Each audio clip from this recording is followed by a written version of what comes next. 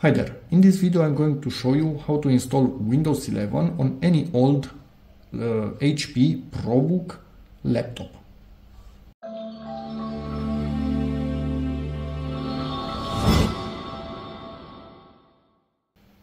So, what you need to do is press Shift and F10 and in here regedit we need to edit the registry in here. Let me see if I remember. HK local machine. Was it system? I might be wrong. Be back in a second. I was actually right. I remembered correctly. In setup we need to right click and create a key called labconfig lab config.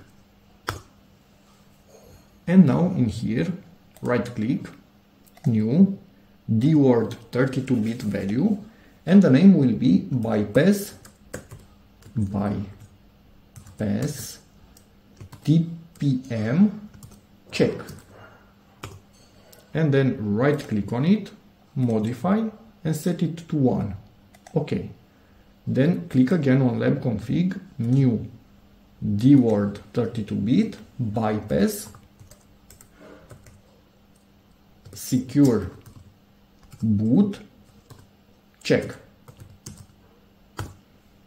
So we have bypass tpm tmp ha i named it wrong. It would uh, have not worked uh, rename.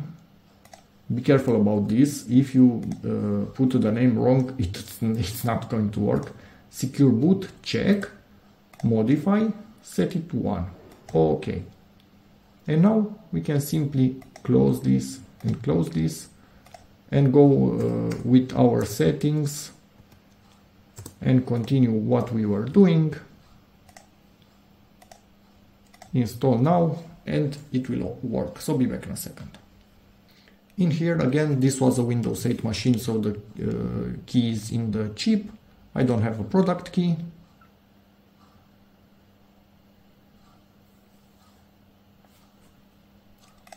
11 Pro. Hopefully that was the version of uh, Windows uh, 8 that was on this particular uh, laptop because if it was uh, Windows 8 Home for example uh, it's not going to work.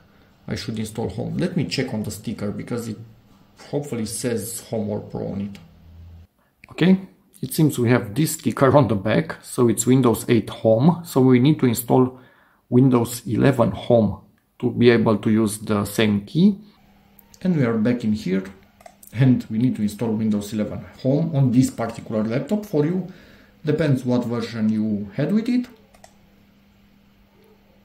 We could buy simply a new Windows 11 key, but doesn't make sense.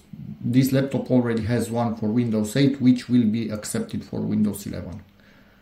Accept, next, install Windows only, we don't want to keep anything, so I will be wiping all of these partitions. Let it do its thing, but I highly recommend you get an SSD. I don't even know why I, I didn't realize to tell my friend this before. He should get an SSD. There's no excuse um, in 2024 to not have an SSD on your computer. So, Shift F10. Oh, oh, Hmm, keyboard not working. Why is that? Sometimes the Windows is not selected, the window. Now it's selected, so just click on it in case uh, you are not typing OOBE slash, slash bypass NR and R. Oh, I think uh, it's bypassing enrolation. Hmm, something like that. So it's doing that. Again, slow because of the hard drive. Back at the same screen. Again, Shift F10. Make sure it's selected. And uh, here we need to do release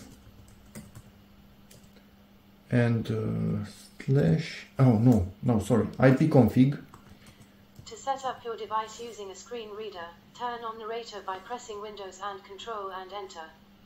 For more accessibility features, Uh, press Windows and U, or select the accessibility icon in the bottom corner.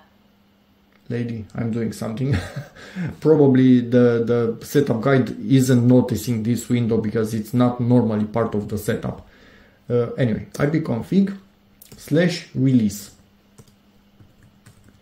we have one space between ipconfig and uh, the slash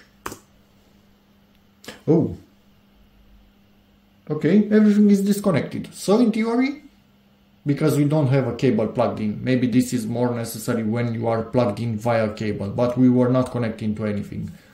Anyway, close this thingy, country is okay, and go to the motion of installing Windows 11 finally on a slow drive. Yikes. I really, really hate that in case you didn't uh, uh, realize that yet. So in theory now it's asking us for a network I don't have internet. Great. Continue with limited setup.